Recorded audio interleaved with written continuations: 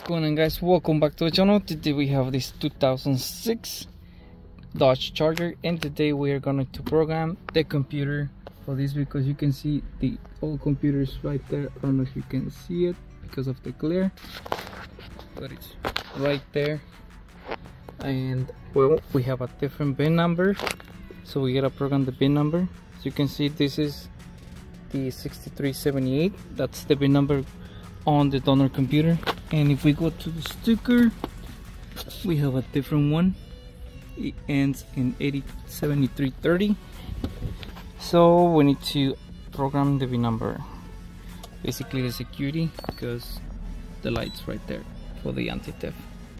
And it will not turn on. So let's just wait. So here we have it we're gonna do smart detection scan the whole system see what codes we have. Well basically the codes we're gonna get are the anti-theft codes and this tool can basically scan all of it so quick. This is the pass-through interface connected to vehicle wireless as you can see. So this is the launch X431 Pro 3 Elite and as you can see we already got some readings. Let's see what code. So as you can see invalid key. We have other lost communication with radio and all that. And the original VIN mismatch. So we need to fix that problem. All right so how you do that? So the first thing is we're gonna enter into the powertrain module. And we're gonna see right away here special functions. We're gonna hit that one and we should select the pin check pin. So we press ok. It says if you replace the ECU the function may be not supported on some vehicles. And well we need to write the pin number. So on this uh, instead of pressing no we're gonna press yes and it will take us to write the pin number. So let me write the pin number really quick okay so the original VIN is already here written. As you can see it's a different VIN number so it doesn't match. That's why we have the codes and the anti-theft light. So it will not allow the vehicle to start. So we just confirm and as you can see the identification number has written successfully. So right now what I'm gonna do is I'm just gonna exit all this.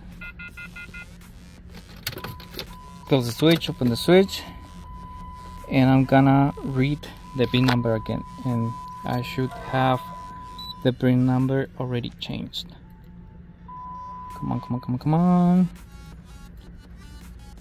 It takes its time so we gotta touch. And there we go. It's already changed. So now just gonna read the codes again. Let's go. Press ok. It's gonna load the software there we go.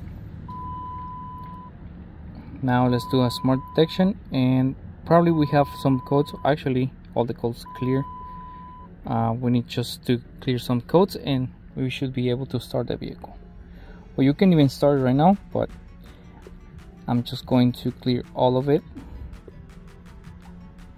Come on come on come on